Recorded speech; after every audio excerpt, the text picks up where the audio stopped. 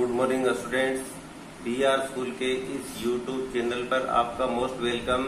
आइए, आज हम थोड़ा अध्ययन ऐसे सवालों के करते हैं जो आपको वीडियो के माध्यम से सिखा दिए गए।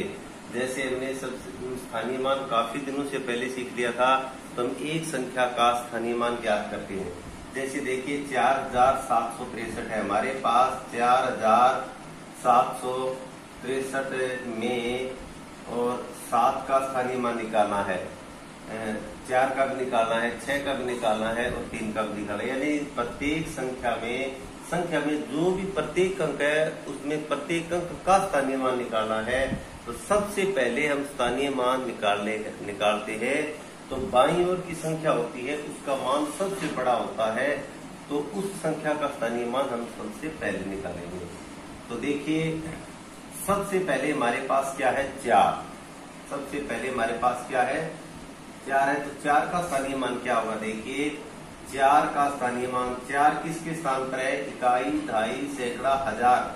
हज़ार के स्थान पर है चार है तो चार का मान हो गया चार हज़ार। अब इसके बाद देखिए, चार से अगला अंक है सात। चार के बाद में अगला क्या है?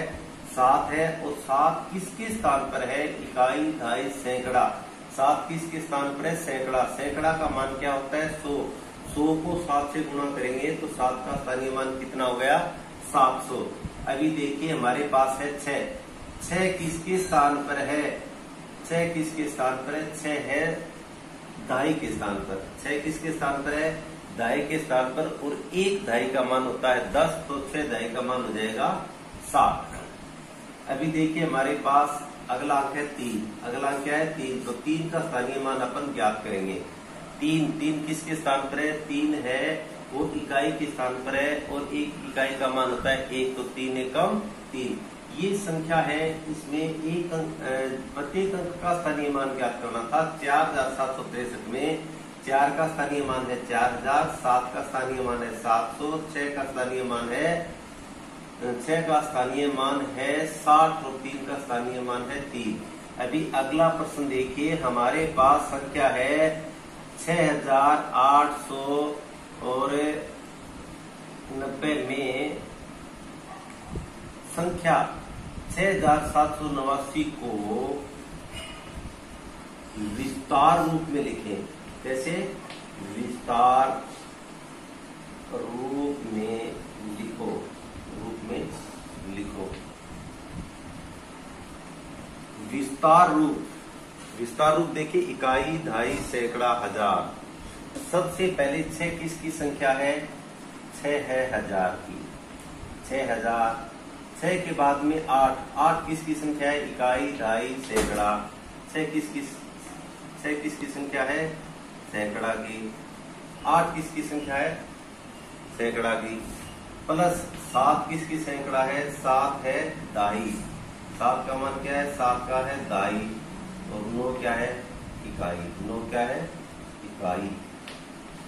तो विस्तारित रूप, विस्तार रूप में लिखेंगे तो देखो, इकाई ढाई सैकड़ा, हज़ार, यानी जो भी अंक है, वो अंक का मान क्या है? वो संख्या किस के नाम से पढ़ी जाएगी?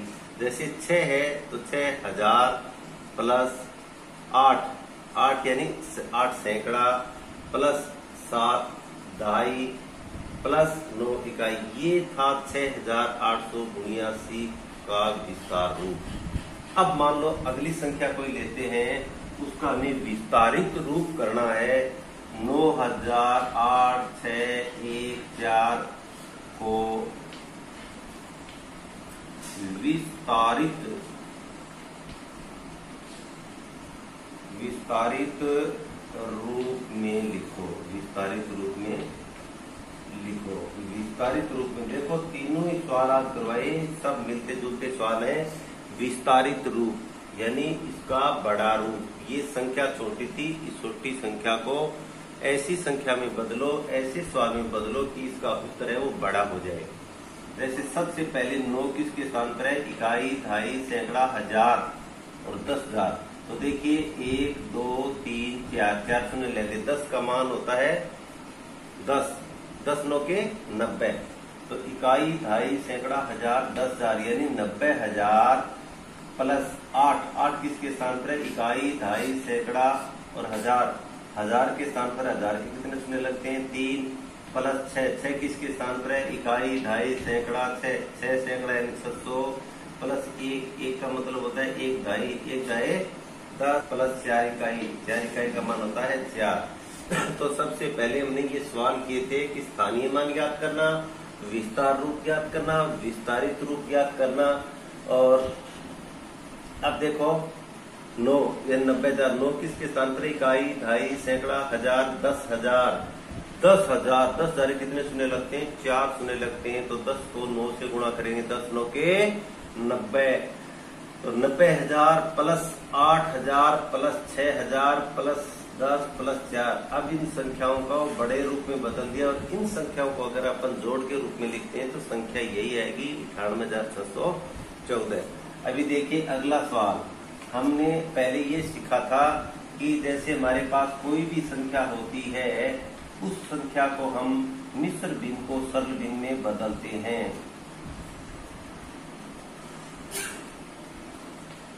ये देखो। ये संख्या हमारे पास।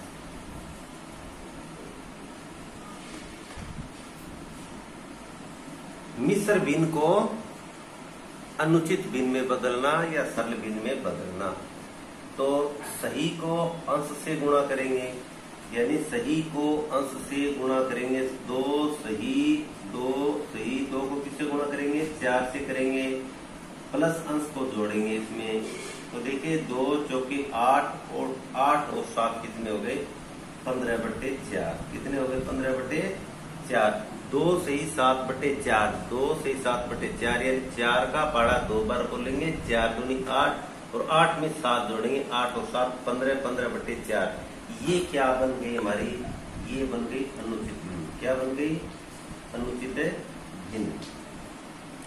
अभी देखिए, तीन का पढ़ा तीन बार बोलेंगे। यानी सही का हर से गुणा करेंगे, सही का हर से गुणा करेंगे, उसमें अंश जोड़ेंगे। तो तीन का पाड़ा तीन बार बोलेंगे, तीन तीन, नौ, और नौ में पाँच जोड़ेंगे। नौ और पाँच कितने हो गए? चौदह। चौदह बटे तीन, ये भी हमारी क्या बन गई? अनुचित विनय बढ़ गई।